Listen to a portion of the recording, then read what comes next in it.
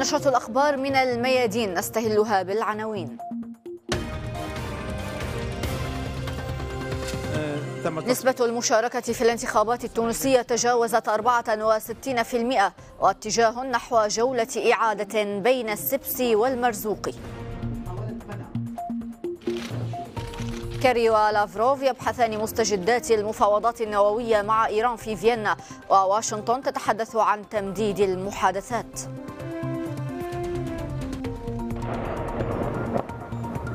اللجان الشعبية في نبل والزهراء بريف حلب تشن هجوما معاكسا ضد المجموعات المسلحة في منطقة المعامل. أعلنت الهيئة العليا المستقلة للانتخابات في تونس أن نسبة الاقتراع داخل البلاد بلغت 64.6% ونحو 30% خارجها. وفي مؤتمر صحفي عقدته في العاصمة تعهدت الهيئة بإعلان نتائج الانتخابات بعد 48 ساعة.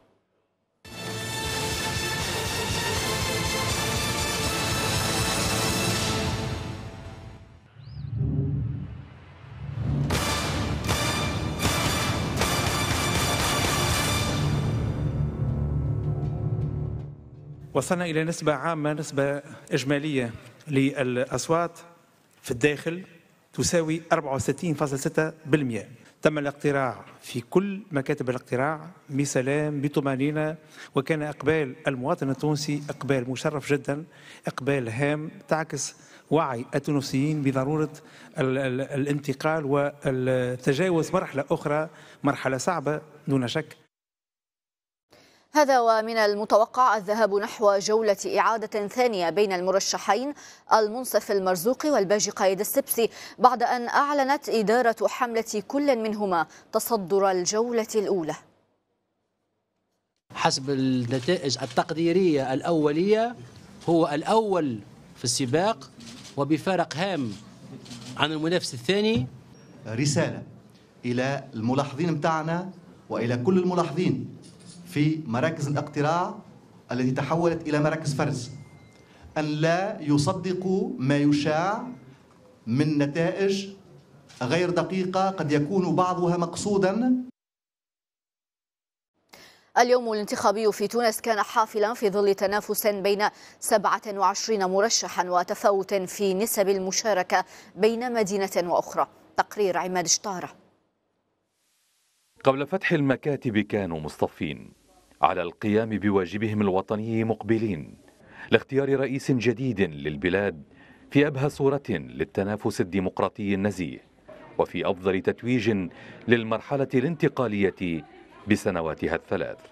حقيقة الماكس حل في وقته حتى الأعضاء معناها كانوا هنا في وقتهم. آه معناش حتى نقص آه معناها في المواد الانتخابية ولا آه ولا في الأعضاء لحد الآن. آه وكما تشوفوا تبارك الله الإقبال معناها كان ممتاز. أنا نقول لك أنا مناضل وقديم أول انتخابات رسمية. ووجود زل 27 مترشح دليل على الحيوية متاع الشعب التونسي.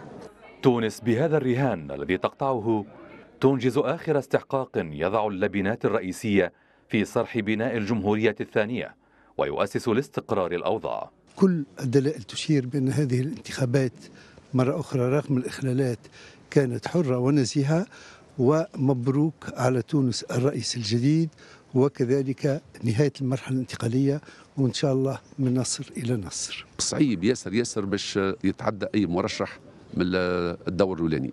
تم عدد المترشحين؟ اللي هو هوش شوية. هذا مش باش يكون سبب معناها نتاع تشتت. و...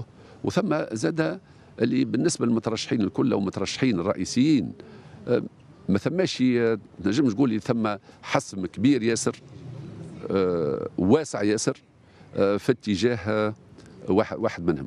رغم توقعات المراقبين بأسبقية مرشحين على الآخرين إلا أن الصورة تبقى ضبابية في انتظار ما ستبوح به كلمة صندوق الاقتراع. سواء كان هذا الموعد الانتخابي حاسما في اختيار رئيس للبلاد أو ممهدا إلى الدور الثاني الأكيد أنه تاريخي في القطع مع الدكتاتورية. شطارة تونس الميادين. وفي العاصمة التونسية أدلى عدد من المرشحين بأصواتهم آملين أن تجري العملية الانتخابية بشفافية. وعلى الرغم من سخونة الحملة الانتخابية للرئاسيات كان يوم الاقتراع في مجمله هادئا. منذ الصباح الباكر توجه التونسيون إلى صناديق الاقتراع. فئة الكهول كانت الغالبة على مقترعي الفترة الصباحية إضافة إلى مسنين وحتى مقعدين. أبوا إلا أن يساهموا بصوتهم في إنهاء الفترة الانتقالية وبدء مرحلة جديدة. عسى أن تكون أكثر أمنا وازدهارا. اللي باش ننتخبوا تو إن شاء الله يحلنا مبدئيا مش مشاكل الديون نتاع البنك الدولي نتاع البلاد. مشاكل البطالة. التنمية الجهوية معناها المعيشة تنقص معناها آه، البطالة تنقص معناها يصيروا des investissements خاطر عنا برشا مرينيش ديزانفستيسمون في البلاد والأمن زيدا أكبر التخوفات كانت أمنية لذلك كان لافتا الحضور الأمني الكبير. رغم ذلك لم تشهد الانتخابات الرئاسية الديمقراطية الأولى في تاريخ تونس تلك الطوابير الطويلة التي كانت السمة البارزة لانتخابات المجلس التأسيسي بعد الثورة. لكن الأهم بالنسبة للمترشحين أن تجري الانتخابات دون تجاوزات أو عنف. بعدها إن شاء الله نواصلوا البناء الديمقراطي. إن شاء الله الأمور تتواصل سلامات.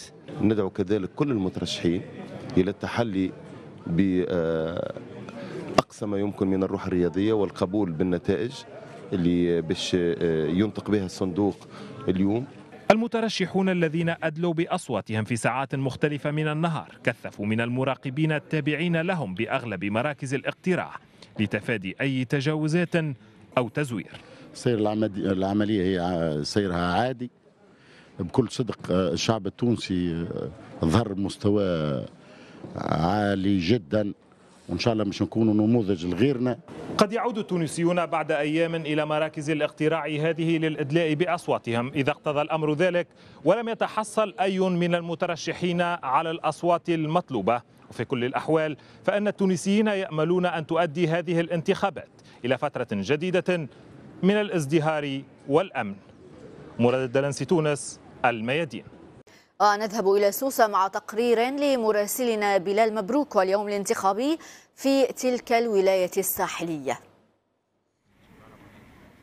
لم يمنعهم عناء الوقوف في الطوابير في ساعات الصباح الباكر من الإدلاء بأصواتهم. شيب وشباب نساء ورجال في الموعد مجددا من أجل إتمام ما تبقى من المرحلة الأخيرة من الانتقال الديمقراطي. لا يهم من يصل إلى قرطاج بقدر ما يعنيهم. الاحتفاء بيوم تاريخي يختارون فيه رئيسهم بلا حسيب ولا رقيب. فرحة كبيرة خاطر أول مرة تونس en plus بلد عربي يختار ديمقراطيا رئيسه. هذه أول مرة تصير في العالم العربي.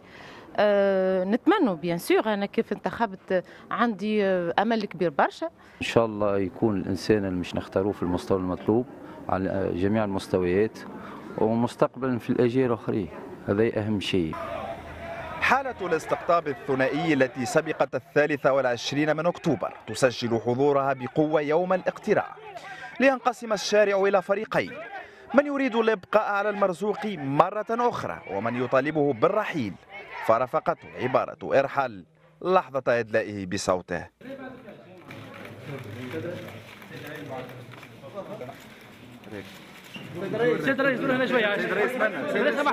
لازم الناس كلها تحترم بعضها لازم كل مترشح يكون له الحق في ان يذهب إلى مكان الترشح دون ان يعني ان تكون عليه مظاهرات مثل هذا النوع لأنه هذا لا ينبئ بخير فيما يخص الديمقراطيه أنا ادعو كل التونسيين إلى احترام بعضهم البعض وبرغم التهديدات الارهابيه تمضي تونس قدما نحو تاسيس جمهوريه ثانية فالدوله هنا حاضره بقوه ممثله بامنها وجيشها جنود وصلوا الليل بالنهار من أجل عيون تونس. للمرة الأولى يقرر التونسيون ويختارون رئيسهم المقبل بعيدا عن كل أشكال الوصاية ويأملون في بداية مرحلة جديدة من بناء الجمهورية الثانية. بلال مبروك سوسة الميادين آه إلى صفاقس ومحمد العارف الذي نقل لنا المشهد الانتخابي من هناك. ثاني أكبر مدن تونس خرجت لتختار رئيسا جديدا للبلاد. صفاقس التي تمثل الكتلة التصويتية الأكبر بعد تونس العاصمة. توجه ناخبوها إلى مراكز الاقتراع للإدلاء بأصواتهم في أول انتخابات رئاسية حرة ومتعددة في تاريخ البلاد. كما تشوفوا التنظيم معنا على احسن ما يرام كافه شرائح من الشعب التونسي قاعدة معنا تشارك مختلف الأعمار واحد وإن شاء الله العملية تتم معنا على بسلاسة وعلى احسن ما يرام ربي يوفقنا إن شاء الله على فيه الخير والسعادة وربي يجيب لنا رئيس إنسان طيب وأخلاق حميدة وينظر الأخوان والمؤمنين. كيفاش عايشين الزبابوليه وكيفاش انت ناس ما في عندهاش خدمة وكيفاش اللي عندهم شهادة متأخرين ما لقاوش بلايص وربي إن شاء الله يوفقنا ويعيننا على ما فيه الخير والسعادة. الانتخاب والله باش ننتخبوا رئيس اللي فيه الخير للبلاد واللي معناتها إن شاء الله تتقدم البلاد و... ونراو فيها كل خير لينا ولصغارنا بقدرة ربي. إن شاء الله يجينا رئيس باهي يحب الشعب نتاعو وياكل ويوكل ما يسالش ما ياكلش وحده معناتها رئيس وحده وكل شيء وربي يطيح لنا بالباهي إن شاء الله. العملية الانتخابية جرت في صفاقس وسط تأمين محكم من قبل قوات الشرطة والجيش. فيما راعت الهيئة العليا المستقلة للانتخابات المعايير الدولية لضمان وجود الحيدة والشفافية أثناء عملية الاقتراع. بنسبة عالية جدا معناها الانتخاب عندنا معناها آه معناها سري وما فماش تأثيرات بالمرة فماش تأثيرات بالمرة. العاصمة الاقتصادية لتونس لا تقل بأهميتها الانتخابية عن العاصمة السياسية نظرا لكثافة عدد المخترعين فيها. لذا كان التواجد كثيفا من قبل الهيئات الرقابية ومنظمات المجتمع المدني وحقوق الإنسان لمراقبة الانتخابات هنا. هذا بالإضافة للتواجد الملحوظ لمندوب المرشحين. والحمد لله لحد الآن لم يوجد أي تجاوز إلى حد الآن. نحب نشير إلى أنه الأجواء إلى حد الآن ما شفناش تشنج أمام مراكز الاقتراع في أي من المراكز التي قمت بزيارتها إلى حد الآن. ثم نقطة أخرى إيجابية هي تواجد الملاحظين والمراقبين. من عديد المنظمات والهياكل المراقبة والكل أجمعوا إلى حد الآن على أن الأمور تدور في ظروف سليمة. وتنقسم ولاية صفاقس إلى دائرتين انتخابيتين. بمجموع ناخبين يصل إلى 440,809 ناخبا لتصبح بذلك ثاني أكبر كتلة تصويتية بعد تونس العاصمة. اهتمام كبير بالمشهد الانتخابي في ولاية صفاقس.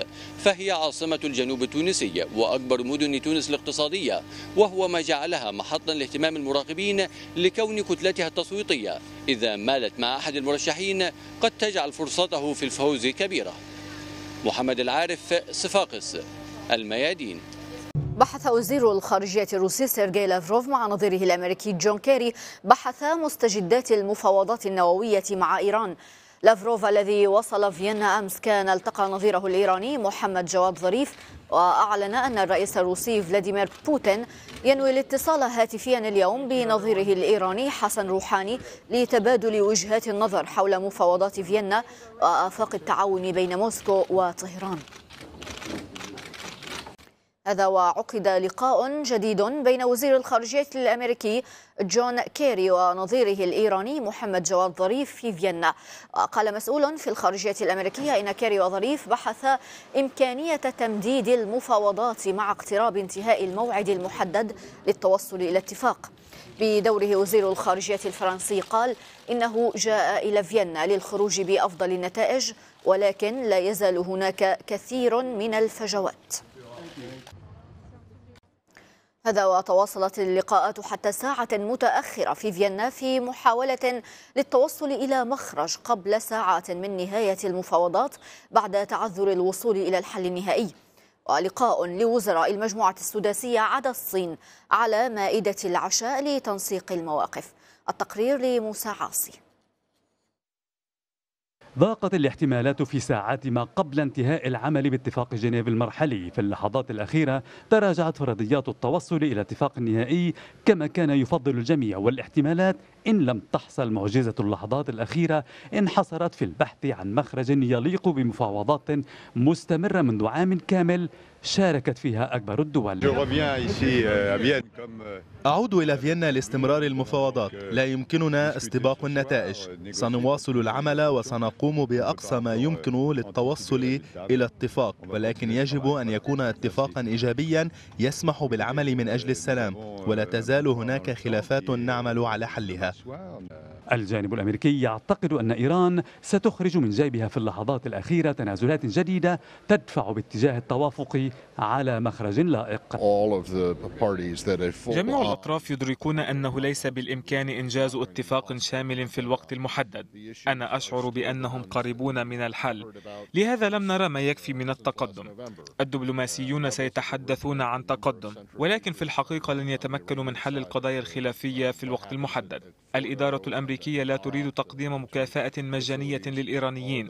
هي تريدهم أن يقوموا بخطوات مهمة في المقابل وهذا ينسحب على أي اتفاق مؤقت. وصول وزير الخارجية الروسية سيرجي لافروف ضخ بعض الأكسجين في عروق المفاوضات خصوصا وأن إعلانا روسيا سبق مجيء لافروف إلى فيينا وضع الزيارة تحت عنوان إنقاذ المفاوضات. مجيء وزير الخارجيه الروسي أمر مهم لأنه يعني إنه طرف في هذه المفاوضات وأعتقد إنه جاء لتقريب وجهات النظر. أعتقد آه، راح يكون هناك اتفاق عام وهو سيكون تفاهم سياسي وسيتم بحث التفاصيل فيما بعد. الصين التي يشارك وزير خارجيتها في مفاوضات اليوم الأخير تستبعد التوصل إلى اتفاق معقول في الوقت المحدد وبحسب الوفد الصيني المفاوض فهناك أفكار جديدة بحاجة إلى وقت كاف بلورتها. عام انتهى بالتمام والكمال على بدء مفاوضات المرحلة النهائية. كل الإشارات تؤكد أن الأوان لم يحن بعد لطي هذا الملف بالاتفاق. إذا لم تحصل معجزة اللحظات الأخيرة فإن فيينا ستشهد جولات إضافية. مصعاصي فيينا الميادين. شنت اللجان الشعبية السورية في نبل والزهراء هجوما معاكسا على منطقة المعامل في الجهة الجنوبية الشرقية للزهراء في ريف حلب شمال سوريا التي سيطر عليها المسلحون مع بدء هجومهم على المنطقة. جبهة النصرة استخدمت المزيد من التعزيزات العسكرية إلى المنطقة من ريف إدلب فيما تمكنت اللجان الشعبية من إفشال مساعي الجبهة ببسط سيطرتها على جمعية الجود ذات الموقع الاستراتيجي والمشرفة بنحو مباشر على الطريق الدولي وعلى مدينتي نبل والزهراء.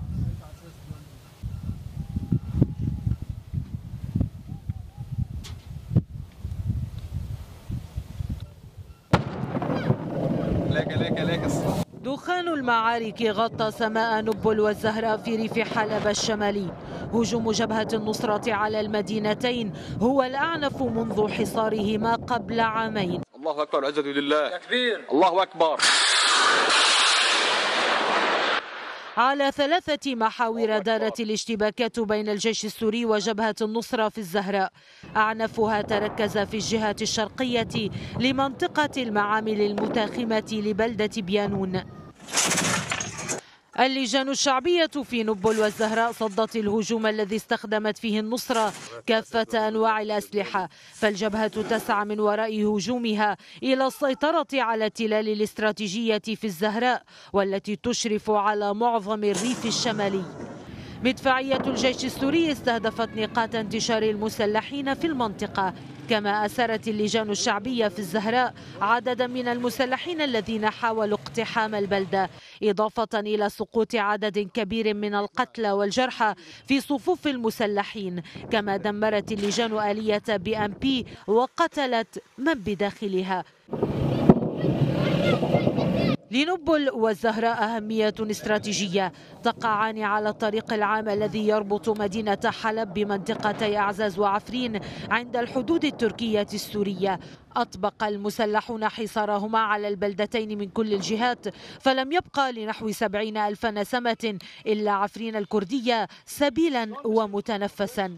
يعلم أهالي نبل والزهراء أن مأساتهم أكبر من حصار تجاوز عمره الثمانمائة يوم.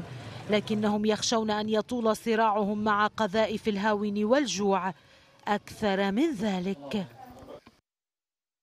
أفاد مراسل الميادين أن القوات الأمنية العراقية والحشد الشعبي وقوات البشمركة تسيطر على غالبية مساحة جلولة في محافظة ديالى ونقل مراسلنا عن مصادر عراقية أن ما تبقى لداعش في المنطقة جيوب يجري التعامل معها من خلال قوات المهمات الخاصة.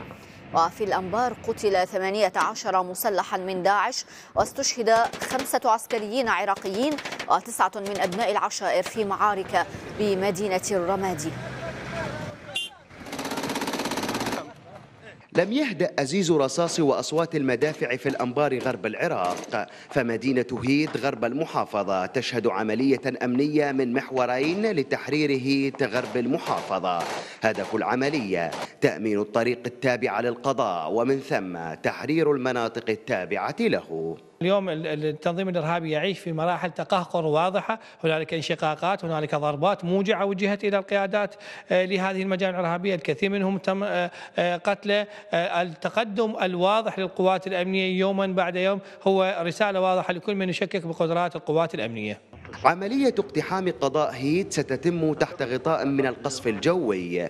غطاء تطالب به العشائر ومجلس المحافظة من أجل ديمومة الاندفاع العسكري. العشائر طالبت رئيس الحكومة بتكثيف الغطاء الجوي وهو بدوره وجه بتوفير غطاء جوي لتنفيذ القصف وإيصال المساعدات وتأمين العتاد.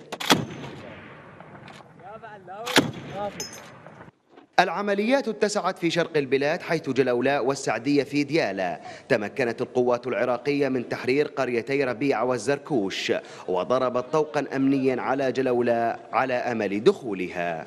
في هذه المنطقة كانت تعقد محاكم لقتل الشباب وقتل النساء وذبح الرجال. الطيران العراقي والقوة الجوية العراقية وطيران الجيش العراقي أثخن في جراحه وقتل قيادات هي يكاد تعد من الصفوة المحسوبة على على الدواعش. جبهة صلاح الدين هي الأخرى. تشهد عمليات أمنية لتفكيك الطرق التي زرعها داعش بالعبوات قبل الانسحاب من بيجي بالتزامن مع خطط عسكرية لتحرير الدور والعلم. يحاول داعش تعويض الخسارة في صلاح الدين وديالى بهجومه على مجمع الدوائر الحكومية في الأنبار.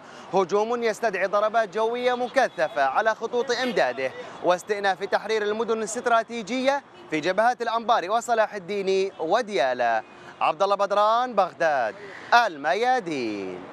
والآن إلى فاطمة قاسم وأبرز ما عنونته الصحافة العربية هذا الصباح صباح الخير فاطمة. المفاوضات النووية تحتل جزء لا بأس به من الصحافة العربية اليوم أليس كذلك؟ نعم. تفضلي العناوين شكرا أهلا بكم. الصحف أيضا ركزت على موضوع الانتخابات التونسية الرئاسية وموضوع المفاوضات النووية في فيينا. ونبدأ بصحيفة السفير اللبنانية التي جاء في عناوينها. تشويش فرنسي سعودي لا يزهد ليالي التفاؤل في فيينا. إيران والغرب تفاهم نووي ممدد وسياسي مؤجل. السبسي والمرزوقي يتصدران مشهد المنافسة. تونس تقترع لديمقراطيتها ورئيسها الخامس. جاء أيضا في السفير. إسرائيل تقر يهودية الدولة والتمييز ضد الفلسطينيين. ننتقل إلى صحيفة الشرق الأوسط السعودية التي جاء في أبرز عناوينها فرصة الاتفاق النووي الإيراني تتسرب والتفاوض على التمديد. ماراثون دبلوماسي سبق الساعات الأخيرة وكري نسق مع الفيصل. تونس 54% الإقبال على الانتخابات الرئاسية والسبسي والمرزوقي يتصدران. وزير الاقتصاد للشرق الأوسط حان وقت الإصلاح الاقتصادي. ننتقل إلى تونس وصحيفة الشروق.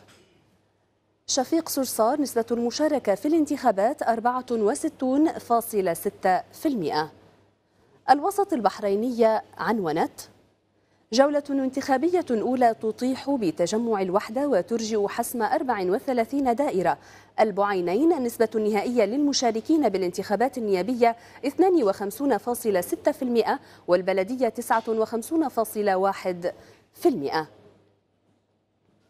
كري وظريف يبحثان تمديد المحادثات النووية. السبسي يتصدر نتائج أول انتخابات رئاسية حرة في تونس. ننتقل إلى مصر وصحيفة الأهرام عنونت أيضا عن تونس المؤشرات الأولية ترجح الإعادة في انتخابات الرئاسة التونسية. صحيفة الرأي الأردنية ركزت على موضوع الحكومة الإسرائيلية تصادق على قانون يهودية الدولة. اقتحامات الأقصى تتواصل وحملة اعتقالات في الضفة. السبسي يتصدر السباق الرئاسي التونسي وترجيح خوض جولة ثانية مع المرزوقي. نختم مع الإمارات وصحيفة الخليج. البحرين فوز ستة مرشحين للبرلمان والإعادة السبت المقبل. صعود للمستقلين والإخوان لم ينجح أحد. السبسي يتصدر والحسم بعد شهر. 55% نسبة الإقبال على الانتخابات التونسية الرئاسية. أخيرا نختم بهذا العنوان. داعش يتوعد الموصل بالسيف ومعارك لاستعادة بلدتين في ديالى الحكومة العراقية لتسليح عشائر الأنبار. ونحن أيضا ننهي هذه النشرة بالماضي الحاضر قبل العناوين.